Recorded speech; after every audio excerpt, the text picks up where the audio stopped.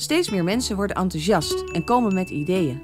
Er wordt een stichting opgericht, subsidies aangevraagd en toegekend. Er ontstaan diverse werkgroepen die nadenken over zorg, wonen, werken, vervoer, opgroeien en nog veel meer. Er komt een dorpscoöperatie, participanten, klankbordgroepen, een gebruikersadviescommissie, een beslisteam. Het dorp is niet meer te houden. Dit is de participatiesamenleving puur zang. Als je in Amerika bent geboren, dan van bij. Dat zo nog heel wat keren vroegen. Hey, waar komt de G vandaan? Van Amerika en Limburg hebben ze nog nooit gehuurd. Die staat niet onder in het zuiden of toch ergens in de buurt.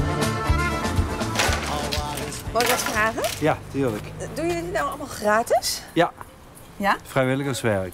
En, en waarom doen jullie dit? Ehm, ik denk uit... eh, ja, hoe zeg je dat? Waarom doe jij dit? Omdat ze me ervoor vroegen.